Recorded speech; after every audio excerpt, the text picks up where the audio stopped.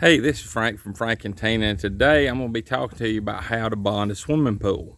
Um, this is a gunite pool, so we're gunite means you know the concrete. So uh, we're going to uh, our plaster pool. So I'm going to be talking to you today about how to bond a gunite pool. What you need to know about it. Okay, what you need to start out with is this is number eight, eight gauge bare copper wire. Now, what's what you want to start out with? Uh, you want to run from your equipment. Where's your equipment going to sit? Let's look around the pool. See all these pipes right here? That's the equipment set. So that's where your equipment will go. You want to keep about probably 10 foot out here behind the equipment. And you want to go and you want to bury it underground until you get to the pool deck. And then you're going to be wanting it to be uh, all the way wrapping around the pool deck and then joined together with a split bolt. I'll show you in a split a second what a split bolt is.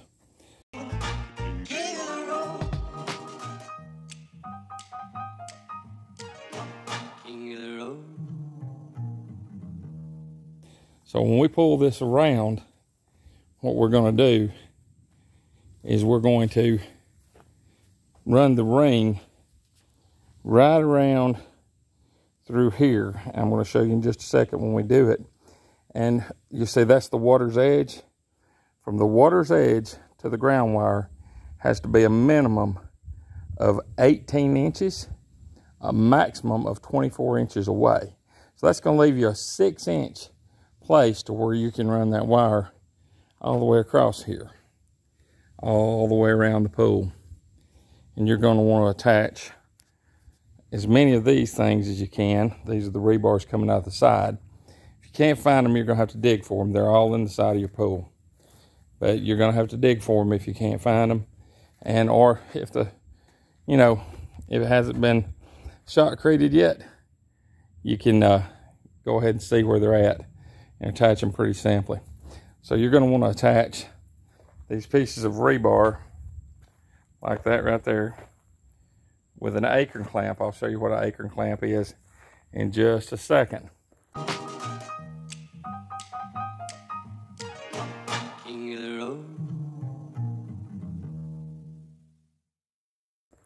And, you know, you bring it right along around through here.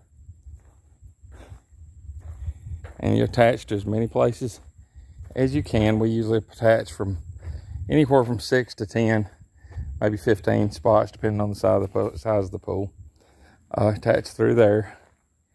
And uh, then each one of these have a light niche in it. And we've already, there's the light niche. See the light niche there for that one?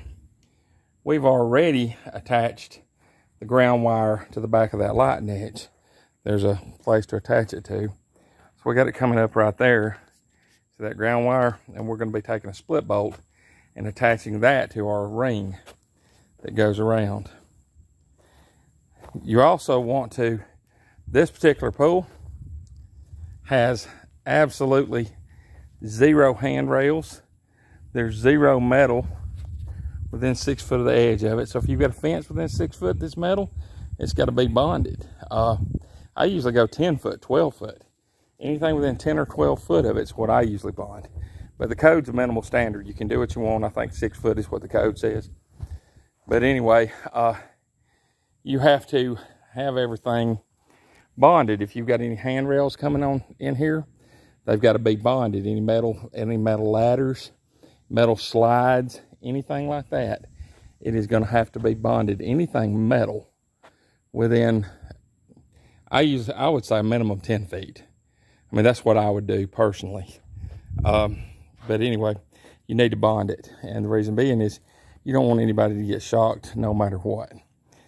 And uh, we're going to put the, there, we're going to take that wire, that piece of copper wire there. I don't know if you can see that. That's running to the other light niche. And it's important on this right here. We have bonded these two light niches. Let me show you this one. We have bonded them. And why does that matter? Because this is metal and it's in the water. So it has to be bonded, that light niche does.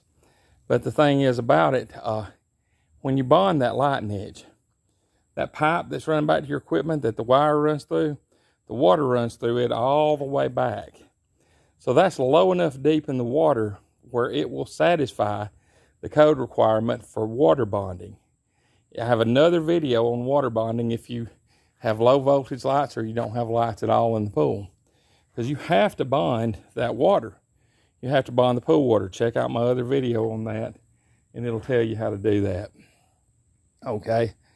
Uh, so anyway, that's why you do that. But that conduit that light goes in fills completely up with water.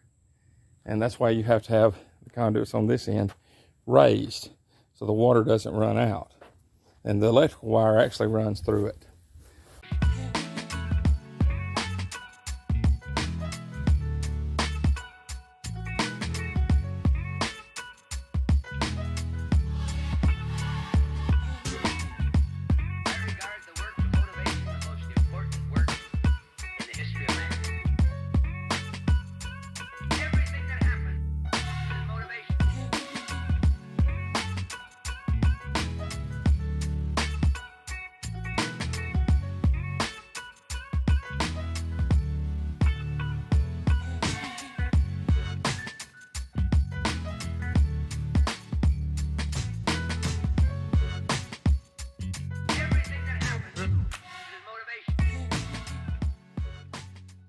Okay, we got the bond wire installed and we got to dig that in underground.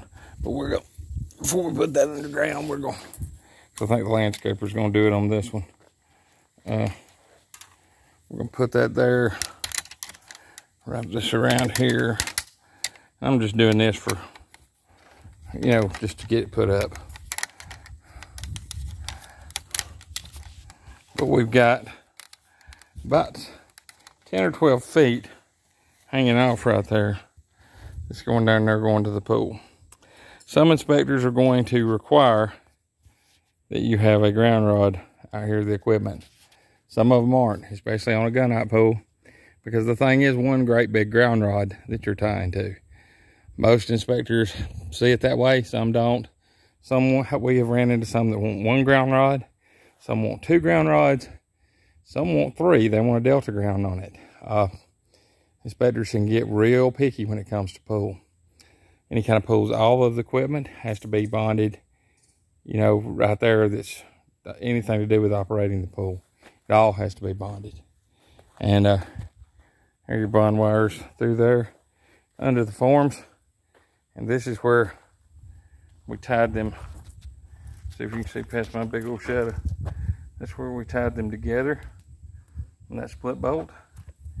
And we've got 18 to 24 inches.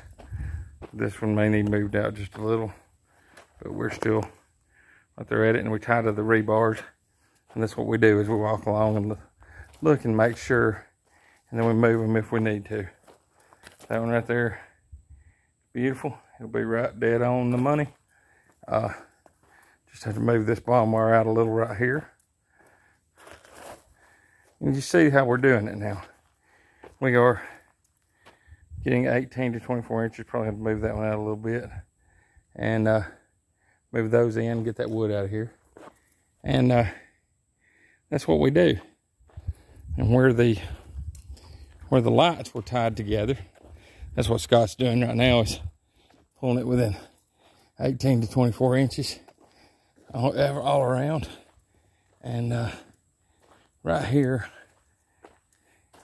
that's where we took that wire was coming from the light. We bonded it right there. So that is how you do it. That's how you run a bond. That bond runs all the way around the pool. And that's how you do it. Uh, just remember to, if you've got anything within, I would say, in my opinion, within 10 feet of this pool, pool deck of the water, 10 feet of the water, you're going to need to get a uh, bond on it. But really within, I think it's six foot of the water is what the code requires. But I always go 12, uh, 10 to 12. Uh, if something's 12, I'll even put it usually. So I'm kind of picky though. Uh, there's nothing that's close on this. And there is no, there is light niches. So we bonded the pool water there's no handrails, no diving boards, no uh, uh, slides, no ladders, nothing metal bond on the outside of this. So this is what we bond. Anyway, we are done with this. And uh, if you got any questions, just put them down there. Give us a like and subscribe. We sure would appreciate it if you like the video. Uh, anyway, we help the channel out a lot. And uh, check out some more of our pool videos. We got several of them on here to choose from. Just go to our playlist. It's going to be listed pools. And uh, we're a pool electrician. So, y'all have a good day.